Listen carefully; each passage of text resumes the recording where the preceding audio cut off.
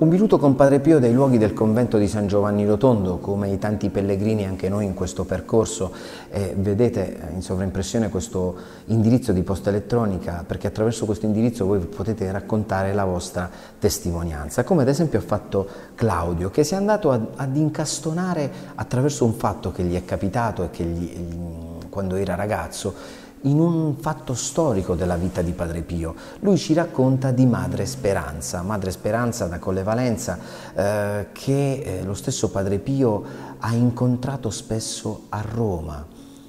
Padre Pio non è mai stato a Roma, ma l'ha incontrata in bilocazione. Qui Claudio ci racconta, ho visto un video su YouTube, una suora della chiesa di Colle Valenza in Umbria, ha parlato della bilocazione di Padre Pio perché eh, Madre Speranza diceva di averlo conosciuto in Vaticano e quindi eh, lui racconta eh, che ha ascoltato da questo video, all'epoca Padre Pio era preoccupato per le accuse nei suoi confronti e eh, il, il padre si recava spesso al Sant'Uffizio e qui conobbe Madre Speranza. La suora inoltre dice che è una bilocazione perché Padre Pio non è mai andato al Santo Uffizio, infatti è proprio così.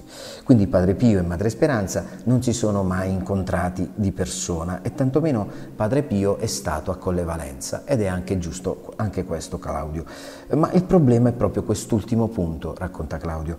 Sono nato nel 1956, da piccolo abitavo a Narni, in provincia di Terni. Ero piccolo e potevo avere circa 7-8 anni in parrocchia. Un giorno, mentre giocavamo, un prete, padre Giuseppe, ci chiamò perché eh, sapeva che sarebbe giunto padre Pio da Pietrelcina, proprio a Colle Valenza. Ci disse di prepararci per l'indomani, da tenere presente che io non conoscevo padre Pio e né tantomeno Colle Valenza. Il giorno successivo con una maestra, padre Giuseppe ed altri due bambini con la macchina andammo al santuario di Colle Valenza. Ricordo molto bene quell'incontro, ci ricevette uno per volta. Ognuno di noi diceva il nome, baciava la mano, si inginocchiava ai suoi piedi. Così ho fatto anche io. Gli dissi mi chiamo Claudio e lui chiuse gli occhi e alzò il viso in su. Poi riaprì gli occhi e fu molto duro nei miei confronti. Mi fulminò con lo sguardo. E questo fatto, scrive Claudio, mi impressionò molto, tanto da restare gelato.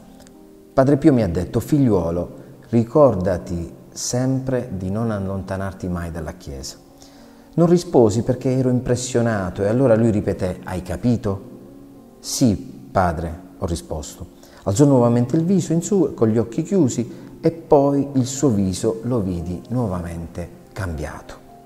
Aveva gli occhi sorridenti, una voce dolce, mi benedì con la mano destra mentre la sinistra l'ho sentita molto calda e grande sul mio capo.